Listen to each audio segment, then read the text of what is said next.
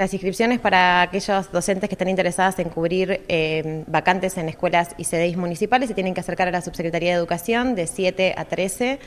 desde hoy hasta el día 21 de diciembre inclusive. Eh, quienes no estén inscriptas deben adjuntar toda la documentación que tiene que ver con fotocopia de DNI, certificado de antecedentes penales, certificado... Eh, de haber cumplido, si vienen de otra provincia, certificación de servicios de haber cumplido tareas en, en otra en otra localidad, eh, bueno, toda la documentación que tenga que ver con títulos, la acreditación de su título docente o del título en trámite y eh, además acercarse a la Subsecretaría de Educación y llenar una planilla que se les va a ofrecer eh, allí para, con la planilla, toda la documentación que se les pide y los originales que se certifican las copias en el momento, con eso se da ingreso a, la solicitud para cubrir eh, las vacantes. Eh, esa es la modalidad para quienes eh, no estén inscritas. Quienes estén inscritas se tienen que acercar y únicamente llenar la planilla y o acercar aquella certificación nueva que hayan tenido en el último año que les permita sumar puntaje.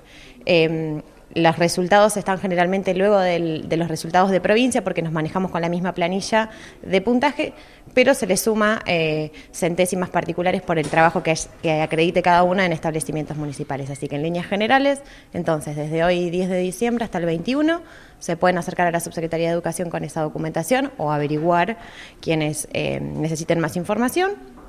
Y sobre finales de enero, principio de febrero, ya están los resultados para para lo que son la, cobertura de las vacantes, como te decía, en los cinco seis municipales y en las dos escuelas primarias.